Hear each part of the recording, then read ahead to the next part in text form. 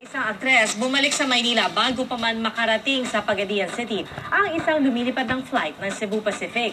Ang dahilan alamin sa report ng sasing si Lars Santiago.